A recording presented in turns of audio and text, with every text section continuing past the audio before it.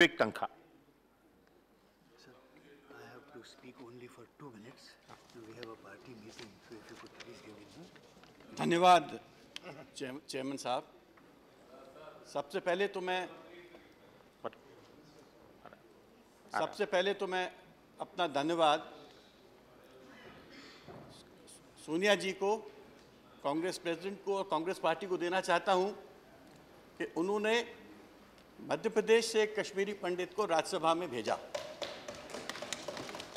शायद आज पूरे पार्लियामेंट में मैं एक ही कश्मीरी पंडित हूँ और इसके लिए मैं कांग्रेस पार्टी को बहुत बहुत धन्यवाद देता हूँ। कई साल पहले, कई कई जनरेशन्स पहले हमारा परिवार उत्तर प्रदेश आया, फिर मध्य प्रदेश गया। मगर हम लोग में आज भी कश्मीरी का, कश्मीरियत का दिल है। जब कभी भी कश्मीर में कोई आपदा आती है, कोई घटना होती है, सबसे पहले हम लोग ही कश्मीर पहुँचते हैं। जिस दिन उर्री में अर्थक्वेक आया था, मैं स्वयं रोटरी क्लब के डेलीगेशन के साथ लाखों रुपए की सामग्री लेके गया था। आज भी मेरे ज्वलंत संपर्क हैं कश्मीर में।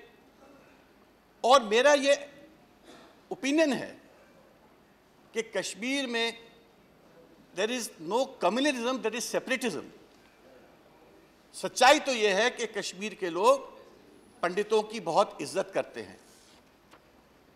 पंडितों को बहुत इज़्ज़त से देखते हैं। पंडितों को उन्होंने उस वक्त बचाया भी है। सच्चाई तो यह है कि पंडित वहाँ टीचर था शिक्षक था। वो बच्चों को पढ़ाता था। हर मज़हब के बच्चों को पढ़ाता था। ये कहीं ना कहीं पाकिस्तान की साजिश थी कि पंडितों को वहाँ से बाहर करो तब उनका ये मूवमेंट कहीं ना कहीं दम, दम इफ़ेक्टिव होगा। ये सच्चाई है कि हर पंडित कश्मीर वापस जाना चाहता है, वो उस, वो उसकी भूमि है, वो वहाँ रहना चाहता है, अपने भाइयों के साथ रहना चाहता है और उनके दुख में शामिल होना चाहता है। जब हमारे बच्चों को, बहनों को इस वक्त पीड़ा है, जब वो वहाँ पर वहाँ पर गोल, इतने इतने लोग जख्मी हुए, इतने लोग मरे, आप मानेंगे नहीं, हर पंडित उतना ही दुखी है जितना कि कोई कश्मीरी या कोई देशवासी दुखी होगा। मगर हमको ये महसूस हुआ कि कहीं ना कहीं ये देश हमारे हित को भूल गया कि पंडित भी कहीं थे कश्मीर के, जो जो कश्मीर में रहना चाहते हैं और कश्मीर की तरक्की के साथ के साथ they want to be part of the progress of Kashmir. अभी आठ आठ, दस दिन पूर्व, एक महीने एक महीने पहले, मैं अपने पत्नी के साथ कश्मीर गया। जब मैं एयरपोर्ट पे उतरा तो वहाँ श्रीनगर के एसपी ने बोला कि आप एमपी हैं तो मैं आपको सिक्योरिटी देना चाहूँगा। मैंने कहा, नहीं, मुझे कोई सिक्योरिटी की ज़रूरत नहीं है। मैं और मेरी पत्नी पूरे कश्मीर में घूमे। That was the best season for Kashmir ढाबों में जाके खाना खाते थे लोगों से बात करते थे अपने आप अपना परिचय देते थे। हर व्यक्ति हम लोग का स्वागत करता था। कश्मीर कश्मीरी लोगों ने एक हमारे लिए एक, एक दिन शाम को बहुत अच्छा शानदार प्रोग्राम किया कल्चरल इवनिंग और उस कल्चरल इवनिंग में जो सूफी सिंगर था वो कश्मीर की एकता और भारत की एकता के बारे में प्रस्तुति कर रहा था। और उसके साथ जो म्यूजिशियंस थे उस दिन, आप यकीन नहीं करेंगे, वो कौन थे? वो स्टोन पेंटर्स थे, जिनको एक प्रकार से ट्रेनिंग दे के म्यूजिशियंस बनाया गया। तो कहीं ना कहीं हमको हमको कश्मीरियों का दिल जीतना है, हमको उनको बिज़ी करना है, उनको एक कोई स्टेक क्रिएट करना है इस देश में, और कहीं ना कहीं उन कश्मीरियों को इज़्ज़त और सम्मान सम्मान के साथ इस देश में रखना है। एक मेरा मित्र है कश्मीरी पंडित अमित वाचू। उसके दादाजी की असैसिनेशन हुआ था 1992 में। बट उस परिवार ने कश्मीर नहीं छोड़ा।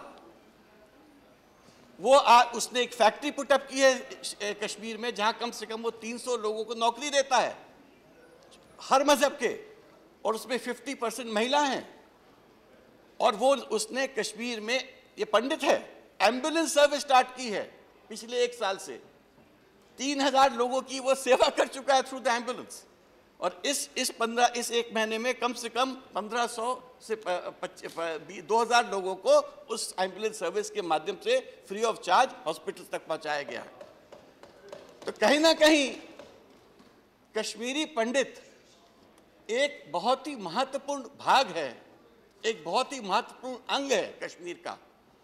और आप ये देखिए कि जिस दिन से कश्मीरी पंडित कश्मीर से बाहर निकला है, उस दिन से ही हमारे लोगों की वहाँ परेशानियाँ स्टार्ट हुई हैं।